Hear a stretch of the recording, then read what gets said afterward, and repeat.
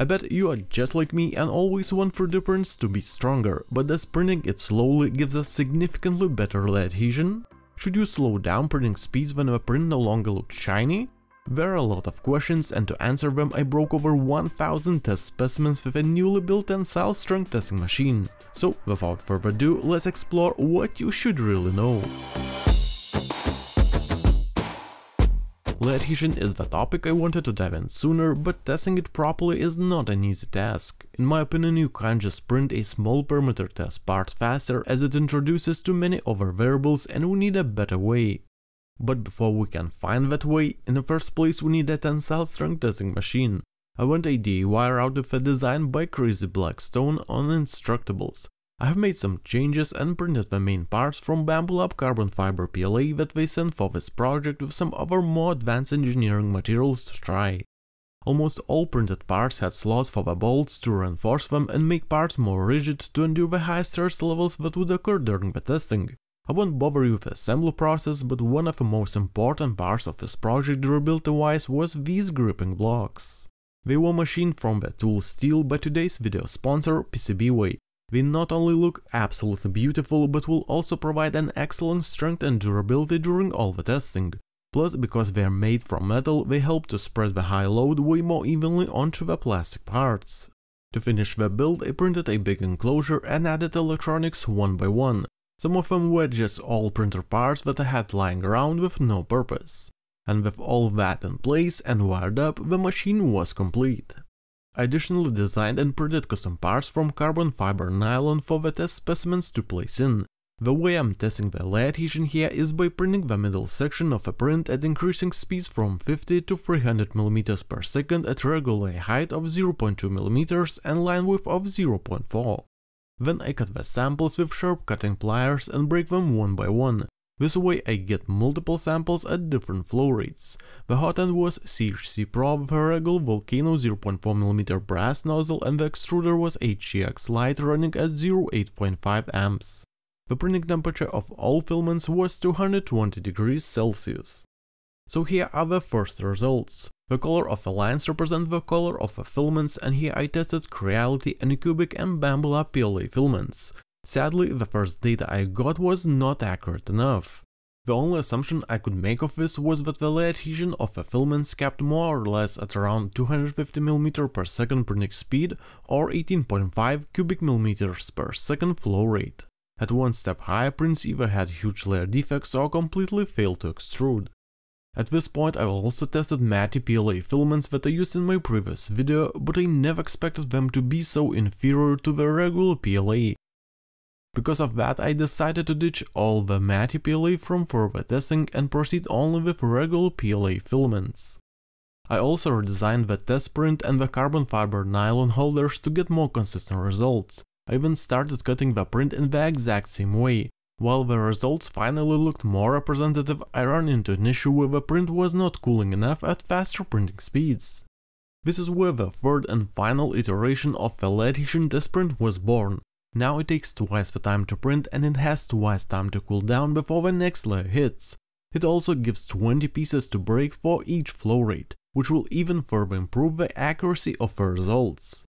So first is Creality Hyper PLA and keep in mind that again lines represent the filament colors. The results here are very similar to the original ones as layer adhesion strength drops very little up to 200mm per second printing speed, while losing only around 5% of the original adhesion strength.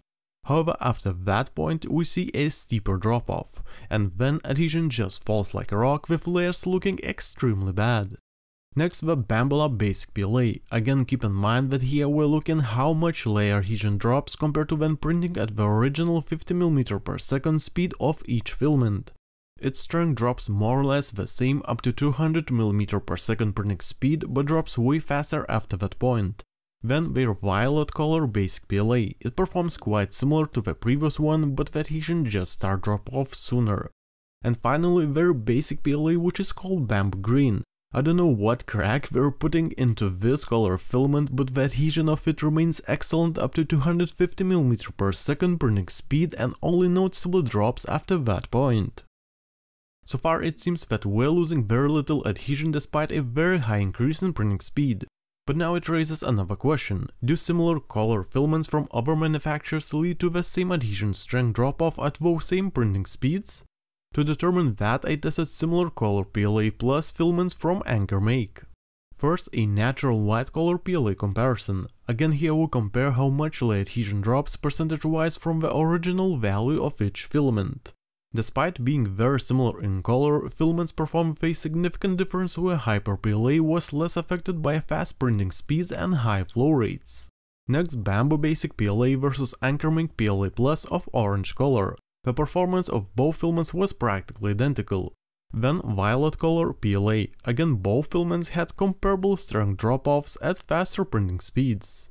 And finally the green color filaments. These two colors were quite different, so take these results for a grain of salt, but Bambu Green PLA had a very consistent adhesion strength no matter the printing speed.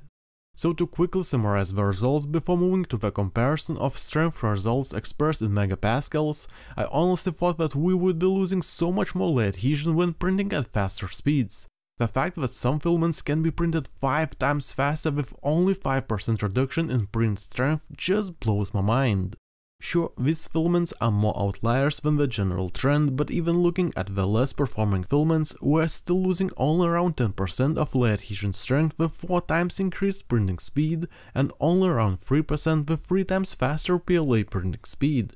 That sounds great, but how does all this data look when we compare the adhesion strength in megapascals? Well, it gives a more informed answer. Natural white color PLA had the highest adhesion strength of the tested filaments. While Ankermake PLA had better adhesion at slower printing speeds, Hyper PLA provided a more consistent adhesion no matter the printing speed. Orange color filaments from Bambu and Ankermake had almost identical adhesion strength and different printing speeds. More or less the same story with the violet color PLA, and green color filaments had a more significant difference. Combining all of them into a single chart, can we say that the filament color is a significant factor in lead adhesion when we print at high speeds and flow rates? I would say it is definitely a factor, but the same can be said about filaments from different brands. For example, natural white color Hyper PLA, which by the way stinks quite bad when printed, has way more consistent lead adhesion strength at different printing speeds, most likely because of those smelly additives. While I agree that color is a factor, we can't just say that natural white filament will have way better adhesion. It will depend on how well the filament bonds with lower temperatures when it spends less time in the hot end while printing at faster speeds and flow rates. For example, Bambu Green outperforms Ankermake Natural White at 250mm per second printing speed quite significantly. So what you should take from all this? If your PLA prints turn from shiny to a more matte finish, it doesn't mean you are significantly losing the adhesion. All the tested filaments lost very little strength compared to how much faster we were able to print them. From the data, it is safe to say that by printing at around half of your true 3D printer's max flow rate, you won't be sacrificing almost any lead adhesion with most filaments. However, if you push speeds and flow rates even more, some filaments will start to show a way more significant drop in lead adhesion strength. And beyond that point, you're on your own. Some filaments still perform quite well and others will lose a significant amount of lead adhesion strength or completely fail to extrude. If you found all of this informative and useful, make sure to leave a like and share the video as it truly makes a huge difference. Thank you so much. Also a huge thanks to all the people who are supporting my work by joining that channel or by becoming a patron. Well, that's all from me and I'll see you next time.